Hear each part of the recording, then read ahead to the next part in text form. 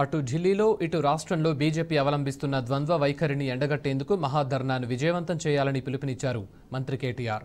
కేంద్రం వడ్లు కొనేది లేదంటుంటే రాష్ట్రంలో వరి వేయాలంటూ బీజేపీ నేతలు రైతులను తప్పుదోవ పట్టిస్తున్నారని ఆగ్రహం వ్యక్తం చేశారు.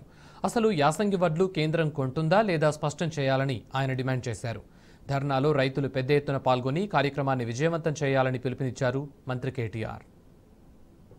జిల్లాలో ఉన్న రైతన్నలకు కూడా నేను విజ్ఞప్తి చేస్తా ఉన్నా.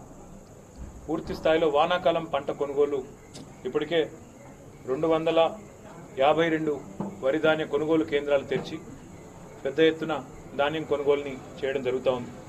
అందులో భాగంగా ఇప్పటికే యాభై రెండు వేల మెట్రిక్ టన్నుల ధాన్యాన్ని కొనుగోలు చేయడం జరిగింది.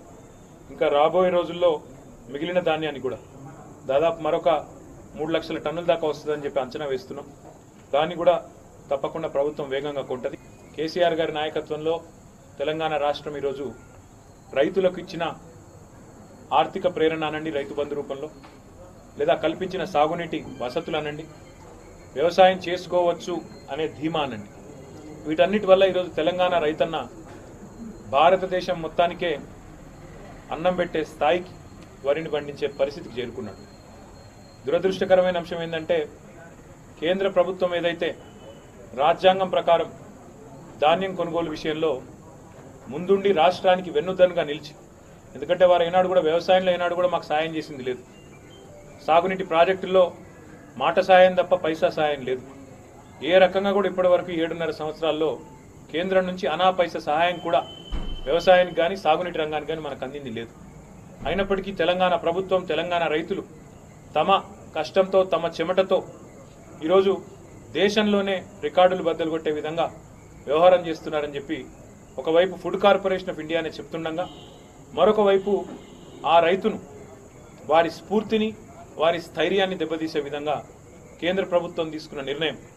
మేము ఎండాకాలంలో పండించే వడ్లను యాసంగి పండించే వడ్లను కొనుగోలు చెయ్యం అనే నిర్ణయం ఏదైతే వారు తీసుకున్నారో దాన్ని పునఃసమీక్షించాలని దాన్ని ఆలోచించాలని వెంటనే దాన్ని తిరిగి యథావిధిగా వడ్లు కొనేదానికి నిర్ణయం తీసుకోవాలని డిమాండ్ చేస్తూ ఇప్పటికే టీఆర్ఎస్ పార్టీ నియోజకవర్గ కేంద్రాల్లో గౌరవ శాసనసభ్యుల నేతృత్వంలో ఎక్కడికక్కడ ధర్నాలు చేయడం జరిగింది.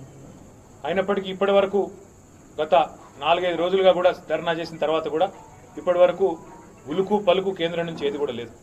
అందుకే రేపు రాష్ట్ర ప్రభుత్వ పరంగానే రేపు రాష్ట్ర ప్రభుత్వంగానే అందరం కూడా గౌరవ మంత్రివర్యులు గౌరవ శాసనసభ్యులు గౌరవ శాసన మండలి సభ్యులు పార్లమెంట్ సభ్యులు అందరం కూడా స్వయంగా ముఖ్యమంత్రి గారితో సహా అందరం రేపు ఇందిరా పార్క్ దగ్గర ధర్నా కూర్చోబోతా ఉన్నాం.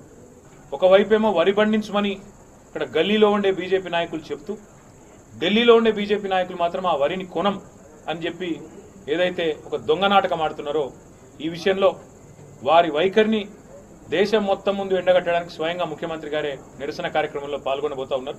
అందుకే ఈ కార్యక్రమంలో తెలంగాణ రైతన్నలు పెద్ద ఎత్తున పాల్గొని జయప్రదం చేయాలని చెప్పి కూడా వారికి విజ్ఞప్తి చేస్తూ తెలంగాణ రాష్ట్ర రైతాంగానికి సంబంధించి మరి స్పష్టమైన ఆలోచన ఏదైతే ముఖ్యమంత్రి గారి ద్వారా వస్తుందో దాన్నే నమ్మండి తప్ప ఈ పనికిమాలిన రాజకీయ లబ్ధి కోసం చేసే ప్రకటనలు చేసే పనికిమాలిన పార్టీలు పనికిమాలిన నాయకుల మాటలు విశ్వసించవద్దని చెప్పి వారందరికీ కూడా హృదయపూర్వకంగా తెలంగాణ రైతాంగానికి విజ్ఞప్తి కూడా చేస్తూ